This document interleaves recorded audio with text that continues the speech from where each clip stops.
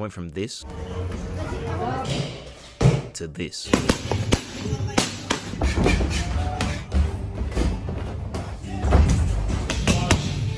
My boxing journey has spanned 18 months, two countries, two different styles of boxing technique, harder sparring than I probably should have done, a lot of self growth, and a few surprises along the way. My journey started in December of 2021 in Athens, Greece. I had stopped playing football, which had been my career for the past few years, and that, with a combination of negative events in my personal life and the realization that something was missing, led me to want to try something new and that something was boxing. But I had no idea about boxing, except that I knew I wanted to try it. So I typed in the words boxing gym into Google Maps and just went to the closest one. The closest one was actually a kickboxing gym, and me, having no idea, just started going for a few weeks. I also bought a very slow moving Cobra bag to practice throwing punches in my garage. I started to learn the basics of throwing punches, footwork, defending punches, and keeping a high guard with your hands up. I even had my first competitive spar after about four weeks of training, which went horribly.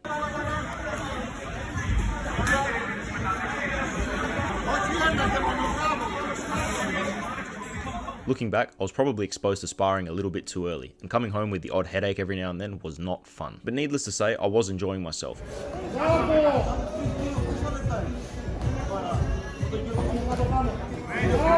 Until I started to have some issues with some staff at the gym. Now, it wasn't the guy that was coaching me, he was fine, but the head of the organization itself was actually very rude to a family member, and for me, I don't tolerate that, so I left. Now, upon leaving, I wasn't exactly back at square one, but I hadn't made much progress either. I realized that what I was learning at that kickboxing gym was just the upper body part of kickboxing, and not real boxing itself. And if you know boxing, you know that kickboxing is almost completely different when it comes to stance, distance management, and a lot of the movements as well. And when I realized this, by doing my own research, I realized I needed the real thing. I needed to learn how to box for real. Now, as I am Greek Australian, when I was first getting into boxing, the professional boxer who drew my attention first was George Kambosos Jr. He had just beaten Teofimo Lopez at the time and was on top of the world. So going through his social media and watching videos of him training, I stumbled across a video where he was actually in Athens a few years earlier, training at this place called the Perseus Boxing Club, or Persea in Greek. I had never heard of it, but I immediately looked it up and I was impressed by what I saw. It was a boxing gym that prioritized defense, not only using the high guard, but also the famous Philly shell, popularized with brutal defensive efficiency by Floyd Mayweather. And also, I might add, used very well by James Toney as well. So I called the gym, and to my surprise, membership there was actually cheaper than the kickboxing gym that I was going to at first. And not only that, but there were more hours of training included in the membership. It was the easiest, and now looking back, one of the best decisions I've ever made. And on my first day, I opened the doors, walked down the stairs, and everything from the layout to the other boxers training there to the belts won by their fighters told me that this was a real boxing gym. The coach there, Manolis Lavdakis, really took me under his wing. He taught me a lot about boxing and even about life in general. His ability to break down what world-class fighters did in the ring and translate that into an actionable drill for you to develop that specific aspect of your technique was simply incredible. And combining this with realistic drills and pad work, as well as other professionals that were training and coaching in the gym, such as Christina Linardatou and Mike Arnaoutis, made for an environment where it was literally impossible not to improve.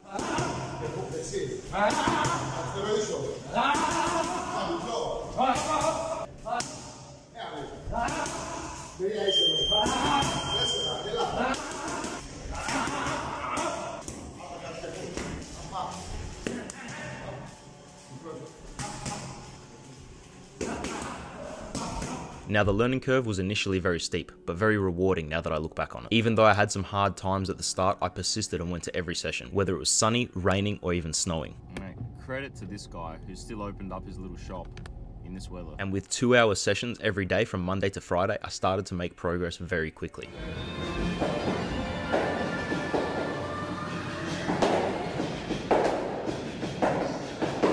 Now, for three of those days, we did defensive drills, focusing on how to counter and defend against your opponent's jab, as well as how to throw your own jab effectively. The other two days, we focused on conditioning, using other exercises and a lot of heavy bag work, and on Fridays, we would usually spar. And two or three evenings per week, I would run on the road to keep my fitness up as well. I'm forever thankful that I joined this gym, and it's also where I fell in love with the Philly Shell Guard. Now, a lot of people hate on it, but I just think that they never really have been to a gym that teaches it properly. I'm not saying I'm an expert on it, obviously not. I'm still a beginner boxer, but I do think if you go somewhere that teaches the Philly shell, you learn to get an appreciation for it. The most obvious criticism is that it leaves you open for the right hand. But when you apply it properly, not only can you see the right hand coming, but you can effectively counter it as well. That being said, I do think it's best to mix up your guard and provide your opponent with different looks because we know that a one-dimensional fighter can get figured out very easily. If you give your opponent too much exposure to any one thing, whether that's inspiring or a competitive fight, eventually they're going to figure it out and punish you for it. But anyway, I started to get into a good routine at Persea and really found my groove. I was shadowboxing in my own time.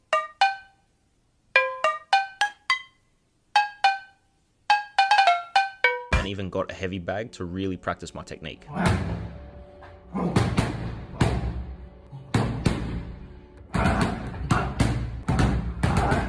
And even in the snow, I continued to run two or three times a week and this was also combined with some bouts of inter-club sparring. Now, this is particularly aggressive because let's be honest, inter-club sparring is basically a fight.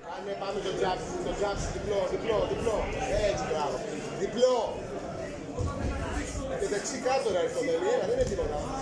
Έτσι, και αριστερό χούχο πάνω. Και δεξί στο. Τρία χτυπήματα. Έτσι μπράβο. Ξανά το τζάπ. Μπλό. Μπράβο.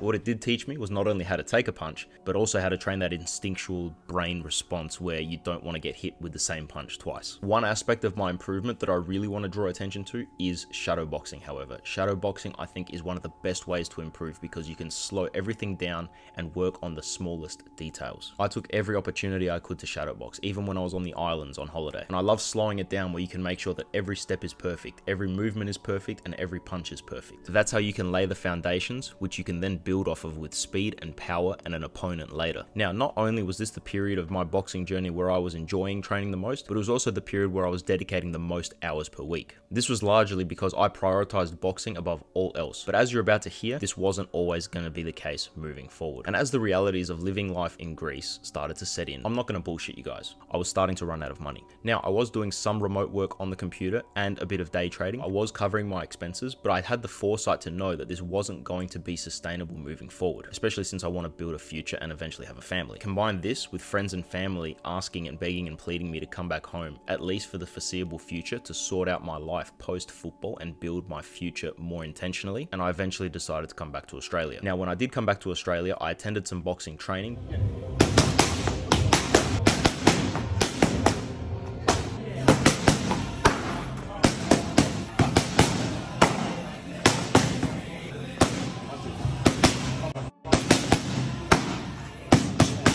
Was tempted to play semi-professional football again. And like a sign from above, I guess you could call it, my body told me that it wasn't to be. I tore my right quadricep off of the bone whilst taking a free kick in a friendly match. And this meant no sport of any kind for the next four to five months. And this was late 2022, early 2023. And my sports doctor even told me that my best bet going forward, if I wanted to play football again, was to become left-footed. Now, it's always tough to end something on a sour note, and injury is about as sour as it gets. But I decided that enough was enough. Or rather, my body decided for me. But me being me, with the mentality I have, decided to flip this switch and turn it into a positive. And that positive for me was that I was able to return to boxing. So after some extensive rehab through January, February, and March of this year, I started to slowly return to boxing training on my own through shadow boxing. It was during times like these where my motivation and discipline was tested on all fronts. Not being able to walk for weeks, not being able to run for months, and not being able to work or play sport. It left me feeling a bit depressed to be honest. But like I've said myself, feeling depressed may be real, but that doesn't mean that you are confined to depression. I believe that feeling depressed is triggered by negative life events, and therefore, by definition, you can fix it by fixing your life. I wanted to recapture that feeling of progress and accomplishment that I felt at Perseas in Greece, and I also knew that I wasn't yet good enough at boxing for it to make a significant difference to my ability to defend myself in a real life situation. And these were my honest feelings at the time. So, I returned to boxing. I started going properly to the gym that I first visited when I arrived back in Australia, and that was West Central.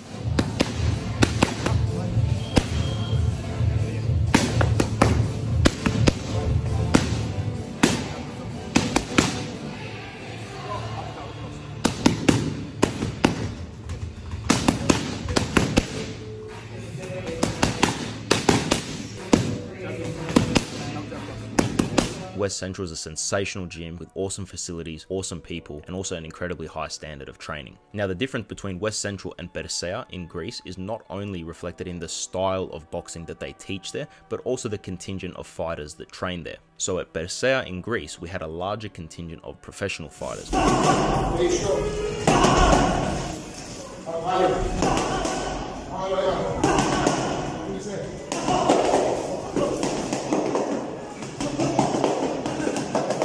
These are guys who sit down on their punches a little bit more, they don't bounce around as much in the ring, and they fight longer fights. So the punch volume is a little bit lower, and they tend to pick their shots a little bit more. They use the Philly shell guard a lot more and fight a lot more off of the back foot. Now, West Central has a lot more amateur fighters, and don't get this confused. When I say amateur versus professional, I'm not talking about a difference in ability or level or skill. If you know boxing, you know that there are a lot of high level amateurs that could beat the brakes off of a large contingent of professional fighters. Boxing is a sport where you can choose your involvement and anyone can register as a professional provided they pass a medical. So again, when I say amateur versus professional, I'm not talking about the difference in ability or in levels, I'm simply talking about the style. But in terms of ability and skill between the two gyms, I think the best fighters are roughly the same to be honest. It's just the style that they choose to employ which makes a difference. So anyway, West Central had a lot of amateur fighters and they used that in and out high guard, high punch volume style that you usually see in amateur fights. And this is because amateur fights are shorter and usually you need to get a lot more punches in in order to secure the points and win the fight. And yet again, now because of a different style of guard, I found myself in a place where the learning curve was steep. I wasn't used to the high punch volume of amateur fighters and took a lot of hits. And just like any other setback, I had to formulate a strategy and execute. I had to think, what is the best move I can make on the chessboard here? So I spoke to my coach and he helped me point out a few things that I should work on to improve and adjust to the style at this new gym. And as my injury also recovered and we started to increase the volume of sparring, I started to adapt my style and found that I was having a lot more success.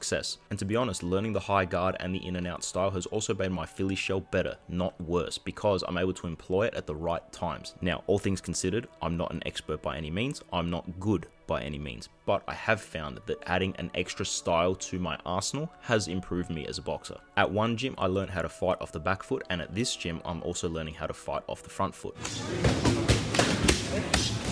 And now I want to thank my Australian coach, Peter Losic, for his contribution to my boxing development. His wealth of boxing knowledge and his ability to adapt to what a fighter could be thinking in the moment allows him to give the best coaching cues to allow you to flip that switch in your mind and actually understand what he's saying and apply it straight away to your boxing. And because he also has knowledge of the Philly shell, he's able to help me focus on how to adjust from only fighting off the back foot to being a more balanced fighter. And I'm very thankful to him for that. Now, speaking of coaches, on social media, there are a lot of boxing coaches. So apart from the two that I've mentioned that I've personally worked with, I think there are other coaches on social media who are also very good. Now, both of the guys I'm about to mention are from the United States. I haven't trained with them personally yet, but I would love to one day and I plan to, whether that's in person or via a video call. The first one is Tom Yankello and the second one is Mustafa's Boxing. And if you love professional boxing, then I'm sure that you will love what these guys have to teach. And it's also definitely worth checking out the Instagram page for my old gym Perseas and my current coach Peter Losic. And I also want to mention that Peter definitely fits the bill of amateur boxer who could beat the brakes off a lot of professionals.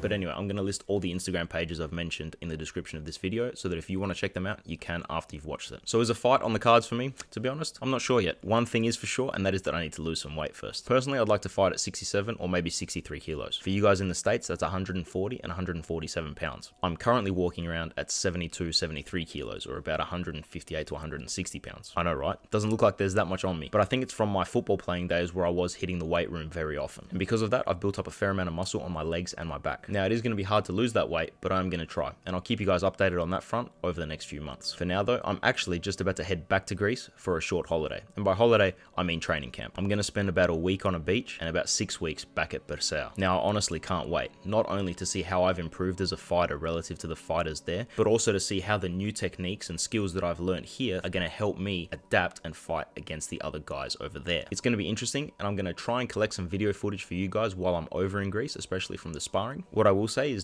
don't expect me to be setting the world on fire, but you can expect to be entertained regardless.